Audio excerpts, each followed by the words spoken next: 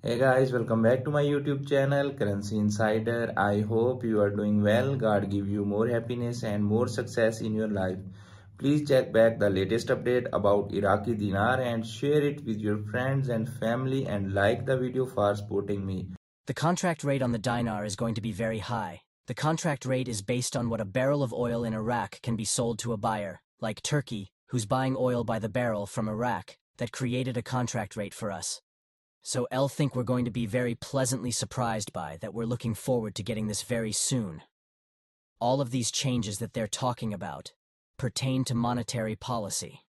They have nothing to do with the exchange rate. Whether or not the exchange rate goes up or not is directly related to the economic success. Thereafter, an international group removes Iraq from the notorious Fine and Finchel list on Wednesday the Middle East, and North Africa Financial Action Task Force me. FATF classified Iraq as a country highly committed to the recommendations for combating money laundering and terrorist financing. Another budget is getting ready to come and go, and there is no talk of the rate change. Isn't that what they told you it would be in the new budget because there was no way for them to do large projects? There was no way for them to move forward without an exchange rate change.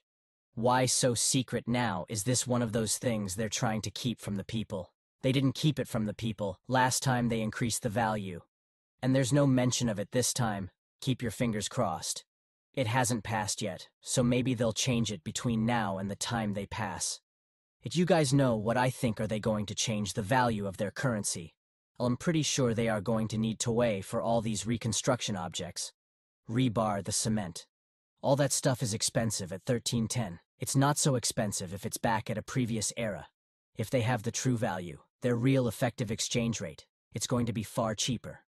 Many feel that if Iraq changes the rate, they will have tons of money, just as they that hold IQD hopefully will. The difference between dinar holders and the government of Iraq is that we hold IQD and they hold USD where I think Iraq sees a windfall is if they pass the budget after the CBI reveals the RDRV to the world, and thereafter, for example, if the CBI changes the rate to 1.30, and then the Common Parliament passed the change to the budget tables, a 130 billion United States dollars value budget will be 100 billion Iraqi dinars.